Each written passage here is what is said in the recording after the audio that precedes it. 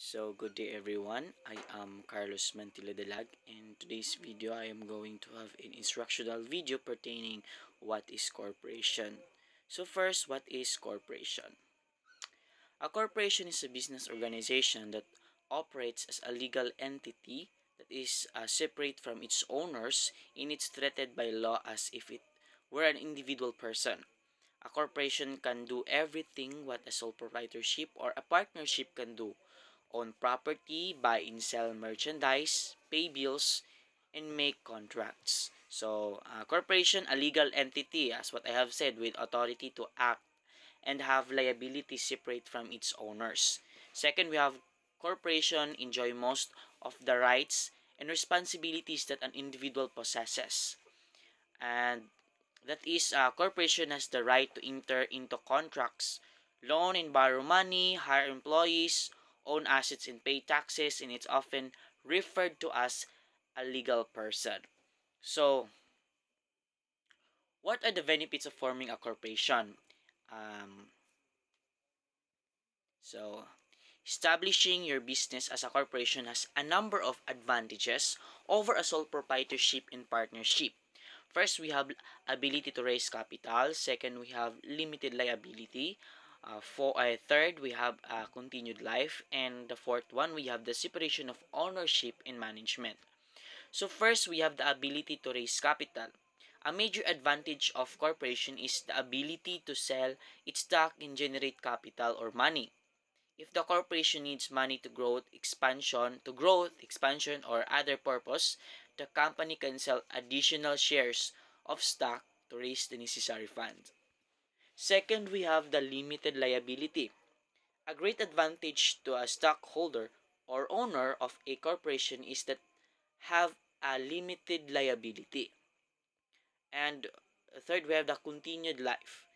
Um, when a sole proprietorship retires, dies, or sell his or her business to someone else, that business ceases to exist. Each time partners enter or leave a partnership, a new partnership must be created. And the last one, we have the separation of ownership in management.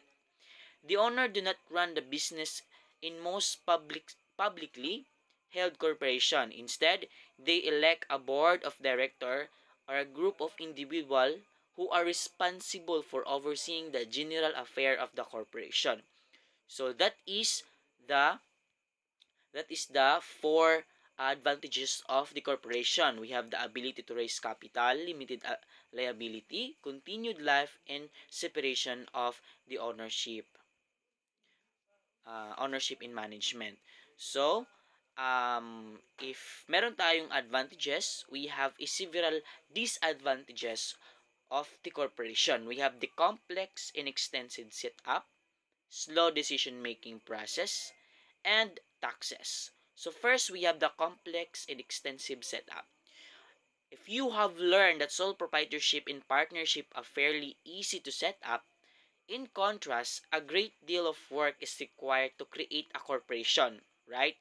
You must complete many form like reports, adhere to many laws and regulations since madaming mga uh, madaming owners sa corporation. Second, we have slow decision-making process. A major disadvantages of the corporation is the slow slowness of decision-making process. Uh, in sole proprietorship in partnership, only a few people determine how the business is run.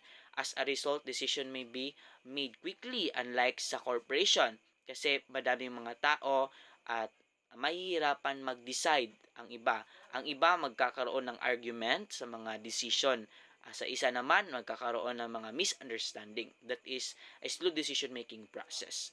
And we have the last one, the taxes. Another major disadvantages of, advantages of a corporation concerns taxes because of uh, because a corporation is a separate legal entity. It must pay state and federal income taxes on its profit, dividends that stock uh, stockholders receive are that uh, are then taxed again. So that is the three disadvantages of the uh, corporation. So hope you have uh, require uh, you have learned a lot of things about the disadvantages and advantages of the corporation. So you will be able soon uh, to build your own uh, business and enter the world of uh, business. That would be all. Thank you and goodbye.